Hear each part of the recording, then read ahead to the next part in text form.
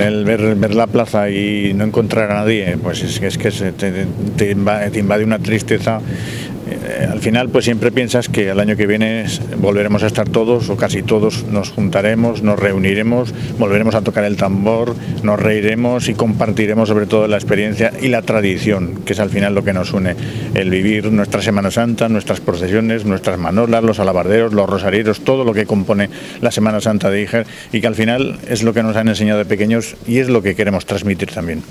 pero a la vez eh, contentos porque la iniciativa haya salido bien, ha, participado mucha gente, tanto aquí en Ijar como nos consta fuera de Ijar, por la gente que se había suscrito al canal y por todos los vídeos que nos han estado llegando y que ahora posteriormente se irán, se irán emitiendo para que todo el mundo al final pueda tener esa conexión. Nos hemos repartido varias personas con, cámaras por el pueblo, además de, de otra gente que estaba en sus casas grabando a los vecinos y que estaban emitiendo para la mezcla de, diferentes cámaras, que teníamos seis cámaras aquí en el pueblo, más las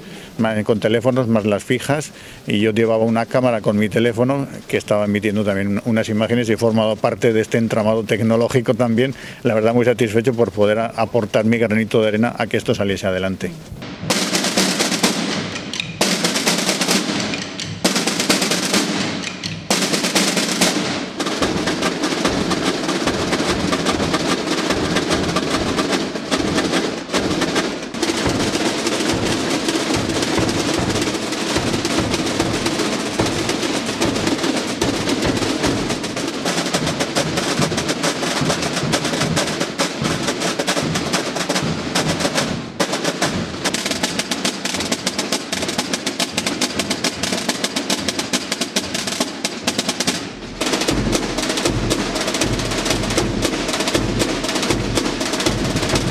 La plaza seguirá estando aquí el año 2021 y esperamos que vengan todos, que estén todos aquí presentes, que lo que no hemos podido hacer este año, esperamos aquí que vengan todos, tanto los vecinos de Ijar que este año han tenido que estar en sus casas, como aquellos que han tenido que estar en sus ciudades, en sus pueblos distantes de Ijar, pero con el corazón aquí en su pueblo.